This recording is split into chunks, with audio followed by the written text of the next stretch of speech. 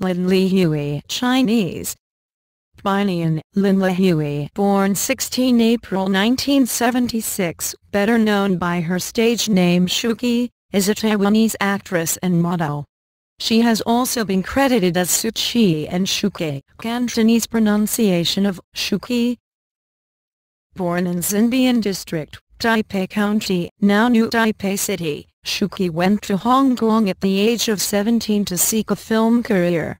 She eventually came under the management of Hong Kong film producer Manfred Wong, who signed her to several Hong Kong Category 3 films such as Sex and Zen II, 1996.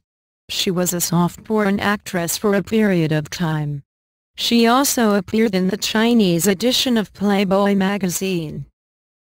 From 2006 to 2009, Shu Qi was selected by Kenzo Takada to be part of the third advertising campaign for its successful fragrance, Flower by Kenzo. She also worked as a spokesperson for Shiatzy Chen. Shu Qi has been representing Frédérique Constant in Asia as a brand ambassador since 2008. In 2009, she, along with Frédérique Constant and Paint a Smile Foundation, repainted the murals on the walls of the cardiology department at the Beijing Children's Hospital.